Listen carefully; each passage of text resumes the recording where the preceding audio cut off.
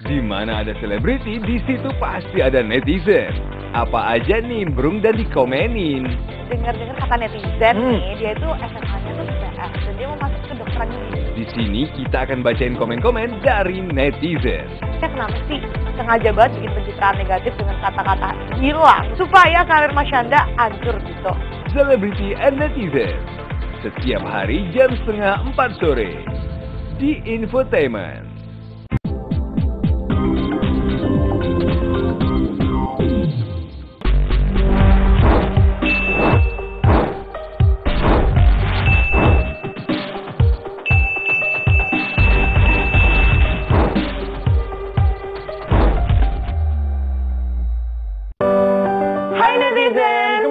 Bersama aku Cema. dan aku Fania. Seperti biasa di program ini kita akan membahas informasi seputar selebriti yang lagi viral. Dan tentunya kita juga akan mengulik komentar netizen dari selebriti tersebut.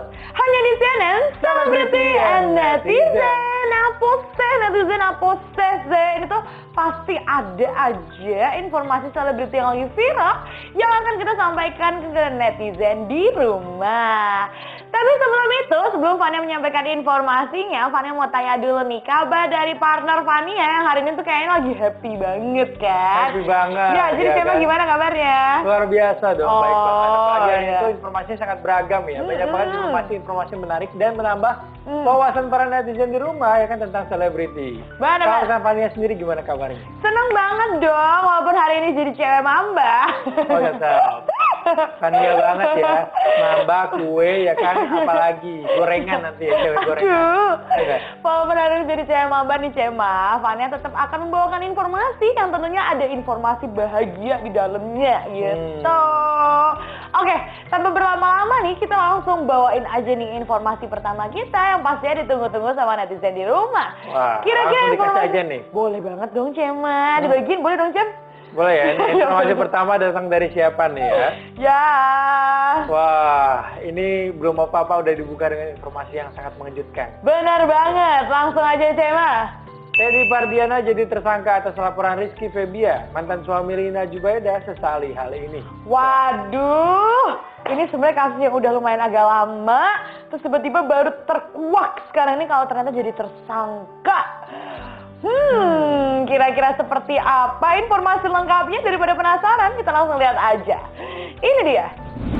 Ini jatuhnya senjata makan tuan ya nggak sih? Benar Yang banget. niatnya ingin melindungi diri dan melindungi- harta dari Yap. sang istri ya kan yang eh, sudah meninggal, tapi Hmm. ternyata Rizky Febian malah membalikkan semuanya. Dan Itu akhirnya dia. Teddy sekarang menjadi tersangka. Benar banget ya sebenarnya kalau misalnya memang ya kalau misalnya udah kelihatan buruknya pasti akan terungkap terungkap juga gitu kan. Hmm.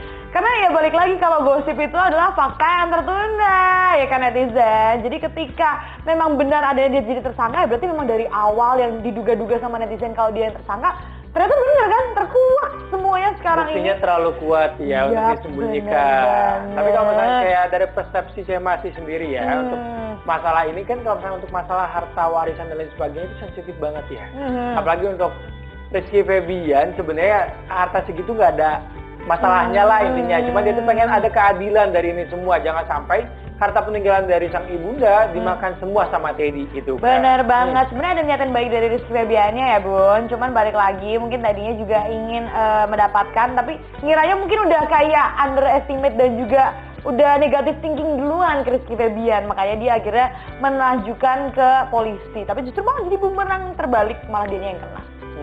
Nggak apa-apa ya. Hmm. Ini bisa jadi pelajaran buat kita semua ya. Jangan Yap. sampai menghak apa pun yang bukan hak kita ya kan. Benar banget. Harus lebih adil aja dalam Yap. segala sesuatu. Jangan sampai kayak gara-gara harta Hmm. buta mata jadinya. Itu Hmm. dia. Ya udah kita langsung lanjut lagi nih bacain komentar dari netizen. Kira-kira pada komentar apa sih menanggapi kalau terjadinya eh, Teddy ini menjadi tersangka. Hmm. Oke, ini komentar pertama datang dari siapa nih kira-kira Cem? Komentar pertama datang dari Nikmah Hmm. W92.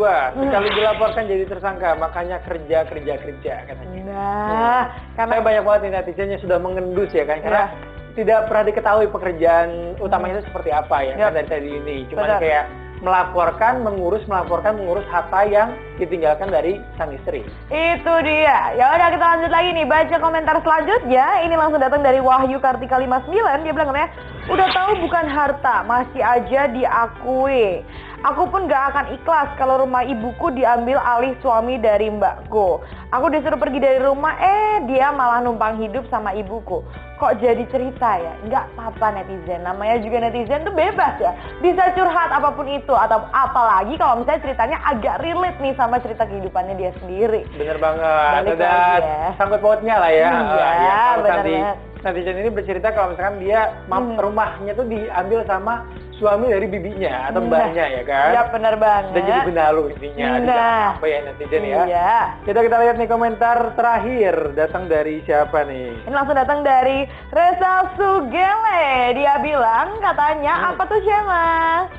Nih, Reza Sugele ya kan akhirnya Teddy tersangka. Hmm. Sulit emang peng- pengangguran kerjanya cuma meras katanya. Aduh. Nah? Dibilang pengangguran, tapi Hmm. bener sih banyak banget ya netizen yang di luar sana menganggap Teddy ini pengangguran karena nggak pernah tahu kerjanya apa gitu loh. Nah. Makanya Teddy mungkin eh, semenjak jadi tersangka ini mungkin bisa klarifikasi semuanya ya kan. Yap. Dibongkar mungkin Teddy ini seorang pengusaha atau kayak Nah, gimana ya kan kita Biar- nggak ada yang tahu. Biar netizen nggak susun lagi. Benar banget. Jadi Hmm. semuanya clear dan jelas ya netizen pun juga nggak apa ya. Jadi nggak bertanya-tanya kembali gitu loh kira-kira tadi ini kerjanya sebagai Gitu. apa. Betul sekali.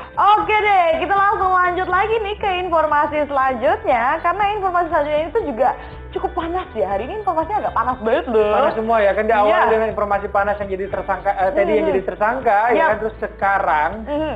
ya kasus perceraian kemarin sih. Nah itu dia kita langsung bacain aja nih artikelnya Membeku dilabrak ibu-ibu karena bercerai dengan Angga Wijaya, Dewi Persik Bedaknya tebel banget kayak badut Waduh ini yang dimasuk bedaknya tuh bedak makeup emangnya Atau apa nih Cem Mas? Hmm, Daripada penasaran langsung aja kita lihat informasi selengkapnya. Ini dia. Kadang bingung ya sama netizen ya. Kalau menurut Fania itu sebenarnya yang salah justru dari pihak sebelahnya gitu. Tapi kenapa di sini malah Dewi Persik yang dihujat gitu loh? Tapi kalau misalnya coba lihat dari sisi ibu-ibunya ya, ya kan. Ibu-ibunya. Tapi ternyata di sini yang tebal tuh bukan bedaknya, Oh, ya kan? iya. tapi eh, mungkin perasaannya atau Iya, seperti mukanya apa. lebih kayak ke eh, karakternya ya. Kalau udah dihujat masih aja tetap kayak eh, A, tetap ngomongnya A gitu, tetap nggak mau mengikuti kata ibu-ibunya gitu. Benar, tapi maksudnya ibu-ibunya di sini juga mungkin geram ya kan. Hmm. Jadi suaminya tuh udah cerai tapi masih diungkit masalah keburukan dan lain sebagainya. Sampai detik ini Hmm. bahkan di televisi pun kayak netizen udah tahu nih kayak gimana kisah cerita Yap. di balik perceraian ini ya kan. Yap. Kan sebelumnya kita nggak pernah tahu kan, tiba-tiba Hmm. udah cerai aja gitu kan. Terus Hmm. sekarang Dewi Persik udah mulai mengungkap satu persatu dari hadiah, mobil mewah dan lain sebagainya. Mungkin ibu-ibu ini tuh geram gitu. Kenapa sih harus diungkit-ungkit terus makanya dilabrak secara langsung. Iya balik lagi ya sebenarnya kita sebagai manusia itu walaupun kalau misalnya udah cerai harusnya ya udah nggak usah ngangkat-ngangkat kayak kejelekannya ya bun Hmm. cuman ya gimana ya pasti ya mungkin ini jadi pelajaran lah untuk Dewi Persik ke depannya kalau misalnya ngomong juga harus berhati-hati karena kan ya balik lagi jejak digital itu sulit hilangnya apalagi dia ngomongnya di banyak media kan soal mantan suaminya ini gitu Hmm. Hmm. Apa jangan-jangan ibu ini tuh mantannya enggak? enggak. Wah, enggak, jangan, enggak, enggak. jangan menambah-nambah beda, pastinya ya, beda, jangan iya, sampai. Iya. Ya udah kita lanjut aja ya Cema. Kita Ah. bacain komentar dari netizen menanggapi soal kasus ini tuh pada menanggapi soal apa sih? Nih, komentar pertama datang dari Eli Nurhayati. Ngapain Hmm. nabrak Dewi? Justru Angga yang salah katanya. Hmm. Tapi dibalik ya kan, siapa pun itu yang salah atau benar, yang Hmm. penting eh, damai itu hal yang lebih penting gak sih? Benar harus banget. Kayak mengungkapkan kejelekan Hmm. satu sama lain. Karena Benar. semakin terungkap semuanya, Hmm. kelar-kelar masalahnya. Itu dia. Kalau satu ada yang manasin, pasti nanti yang terpa yang nggak panasnya jadi ikutan panas kan. Bener banget. Jadi akan lebih baik kalau misalnya sama-sama adem ya netizen dan juga dari Dewi Persiknya atau dari Angganya. Ya moga-moga cepat diselesaikan lah ya masalahnya. Oke kita langsung lanjut lagi nih baca komentar terakhirnya. Eh komentar kedua ya Cema ya? Kedua, kedua. Oke komentar kedua ini langsung datang dari Siti Marlin. Dia bilang katanya Sabar ya Mbak DP, semoga cepat dapat jodoh yang tulus mencintai dan juga menyayangi yang lebih dari suami-suamimu yang lalu. Orang sabar rezekinya jembar katanya Hmm. tuh kan.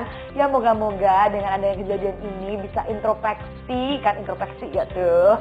Jadi bisa lebih apa ya memilih pasangan hidup yang tepat gitu loh daripada eh, cepet-cepet nikah tapi ujung-ujungnya jadinya malah nggak jadi dan banyak konflik kayak gini ya kan Cema. Kita doakan aja yang terbaik nih untuk mereka berdua. Hmm. Mudah-mudahan semua apa permasalahannya juga cepat selesai ya. Jangan sampai Hmm. mengungkit lagi nih hal-hal seperti ini karena netizen juga udah tahu sebenarnya ya Yap. mana yang salah mana yang benar. Iya bener Nih, banget. udah kita lihat nih komentar terakhir datang dari Yunita Fir. Hmm. Orang kalau ngomong seenak jidatnya nggak tahu yang ngelakoni ini yang soroh katanya. Nah, tuh kan, balik lagi ya sebenarnya ya. Pasti dari kejadian itu dua-duanya ada salahnya, ada benernya juga. Cuman gimana kita menyelesaikan masalah itu dengan benar? Karena kalau misalnya kita nggak bisa menyelesaikannya dengan benar, adanya jadinya permasalahan lagi, permasalahan lagi, permasalahan lagi deh. Ya udah kita doakanlah untuk mereka berdua mudah-mudahan cepat selesai dan jangan sampai ada ibu-ibu yang melabrak kembali ya kan. bener-bener agak serem ya bun. Ah, sudah, selesai, sudah selesai sampai di sini nih berita dari Dewi Persik ya kan. Nah, Oke, yaudah kita lanjut lagi nih ke informasi selanjutnya karena informasi selanjutnya ini dari yang berapi-api ini jadi informasi bahagia bahkan justru nggak disangka karena udah lama banget nggak dengar kabar dari selebriti ini. bahagia dan mengejutkan lebih Yap, tepatnya benar ya banget. nih. Gracia Indri umumkan kehamilan setelah hampir satu tahun menikah, sudah mau tujuh bulanan katanya. Wow. Dan di sini saya mah baru tahu kalau misalnya Gracia ini udah menikah kembali ya. kan? Ini pasti netizen rumah juga ada yang bertanya nih kapan nikahnya, terus kapan juga tadi hamilnya tiba-tiba udah tujuh bulan aja. Hmm. Daripada penasaran kita langsung lihat aja nih informasi lengkapnya. Ini, dia. Congratulations buat Gracia Indria atas kehamilan tujuh bulanannya. Walaupun cuma nggak pernah tahu nih kapan nikahnya, tiba-tiba udah satu tahun aja dan udah, udah hamil tujuh bulan aja. Nggak apa-apa, ini berita bahagia ya Hmm. kan. Dan ternyata suaminya bule. Nah itu dia luar biasa banget Justru malah yang begini-begini tuh jadi nggak ada kasus ya Karena dia tuh mengumbarkannya tuh kabar-kabar yang bahagia Bahagia gitu aja. Mm-mm. Tapi banyak banget di netizen juga yang salvo karena kan Hmm. sebelumnya mereka nggak pernah tahu ya kan kabar Ya. bahagia dari Gracia Indri sendiri ya kan. Tiba-tiba ada berita kehamilan seperti ini ya kaget juga tuh. Bener banget Kok jadi Jawa tau ngomongnya Entahlah. Eh, pokoknya Ya kan. ampun, Nah, ya udah kita lanjut aja nih kita ngelihat komentar dari netizen pada komentar apa menanggapi Gracia Indri yang sudah tujuh bulanan ini Chan. Iya cukup mungkin bahasa Oh, Jawa. iya, iya, Jadi iya. saya uh, TV nasional bukan TV daerah. ya. Sorry, sorry, sorry. Kita Oke. kita lihat nih, komentar pertama datang dari Pujik 6404. Alhamdulillah, akhirnya ada keturunannya. Sehat-sehat ya Bumi. Kan? Amin. Semoga dilancarkan semuanya sampai ke proses eh, pelahirannya ya. Betul. Itu dia. Oke, kita langsung lanjut lagi nih baca komentar selanjutnya. Ini langsung datang dari Josefina Rifai. Dia bilang katanya Alhamdulillah selamat Gracia independen. Waduh, ngomongnya Gracia independen karena mungkin di kabarnya tuh selalu kabar-kabar yang bahagia aja ya. Hmm. Kayak orang-orang tuh nggak tahu gitu loh kabarnya dia gimana. Terus tiba-tiba langsung dikasih informasi bahagia kayak gini gitu loh. Dan dia juga mungkin independent moment ya kan. Iya, bisa Nah. jadi. Oke. Jadi kita lihat nih, komentar terakhir datang dari Jaya Ok. Prasetyo. Emang bule ya, jagonya nembak katanya. Waduh. Jagonya nembak, ditembak Hmm. sekali langsung. Nah itu Jatuh dia cinta. Jatuh cinta Iya Jangan ke mana-mana netizen pikirannya ya kan, jangan Hmm. jorok-jorok yang negatif-negatif ya kan. Nah itu dia Ini berita bahagia bukan berita negatif. ya. Itu dia Heeh. Ya udah Semoga pokoknya dilancarkan lah ya Sampai ke kelahirannya ya Betul. Oke netizen kita istirahat dulu ya Tapi jangan ke mana-mana netizen Karena sehabis ini kita juga akan memberikan informasi yang menarik tentunya Dan juga update untuk kalian semua. Makanya tetap di CNN Celebrity and Netizen.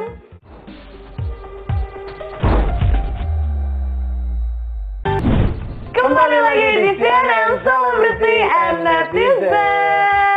Diawali dengan berita dari Baim Wong Yap, ya kan. Nanti kita baca aja nih artikelnya. Ya, artikelnya di sini sudah ada tujuh kontroversi Baim Wong terbaru Citayam Fashion Week yang didaftarkan merek dagang. Hmm. Emang ya kemarin tuh sempat heboh banget sih Mbak, masalah Baim Wong yang katanya tuh mau mendaftarkan CFW dengan PT-nya Baim Wong sendiri. Bener banget. Tapi Yap. ternyata di sini juga banyak banget netizen yang Hmm. pro ke Baim Wongnya sendiri. Yap. Karena banyak banget netizen yang percaya kalau misalnya Baim Wong mendaftarkan ini semua akan menambahkan sesuatu hal yang positif. Misalkan kayak dari ajang ini bisa menghasilkan uang dan cuan-cuan lainnya untuk orang-orang warga Citayam Fashion Week itu sendiri gitu. Itu benar banget dan termasuk salah satunya adalah Fania ya dari awal waktu uh, Baim Wong ini mau mendaftarkan CFW itu tuh juga Fania setuju kenapa karena bisa lebih teratur dengan adanya Baim Wong karena mungkin mereka yang mengadakan ini oke mereka bisa mengadakan eventnya tapi kayak belum belum tertata rapi gitu Belum loh. tahu cara mengelolanya. Iya, belum tahu cara Betul. mengelolanya. Sedangkan ada Baim Wong ini yang bisa menaungi mereka. Jadi menurut Fania itu itu hal yang benar dan tepat sih. Cuman balik lagi ya, namanya juga ada yang pro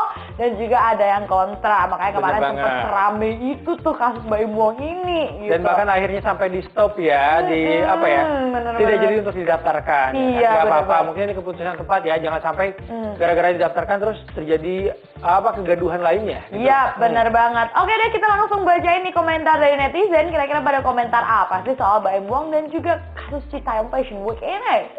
Nih komentar Oke. pertama datang dari Eli Herlina. Aku setuju, Mbak Imung punya gagasan. Jadikan model legend booming di masyarakat bawah. Citayam dan semuanya hebat katanya. Bener banget ya. Ya, bener banget. Tapi kayaknya sekarang juga Citayam Fashion Week udah mulai redup nih. Nah, Hmm. coba kalau misalnya dulu dipegang sama Mbak Imbong di- dan dijadiin kayak event memang eh, misalnya setiap minggu gitu loh. Atau setiap bulan ya, Iya, atau gitu. setiap bulan. Mungkin sampai sekarang masih akan tetap ada dan dia nggak cuman viral doang sesaat gitu loh. Nggak apa-apa, mungkin ini bisa jadikan pelajaran ya ke depannya. Hmm. Jangan sampai hal-hal viral seperti ini Yap. cuma viral sesaat dan tenggelam begitu saja. Kita Yap. bisa memanfaatkannya ke depannya untuk menjadi lebih baik lagi. Itu dia. Oke deh kita langsung lanjut lagi nih baca komentar selanjutnya. Di sana datang dari Egi Sel. Dia bilang katanya, yang nggak bisa bantu, yang nggak bisa bantu apa-apa, mending diem aja lah. Sayang banget CFW itu udah brand besar kalau nggak dimanfaatin bakal hilang begitu aja.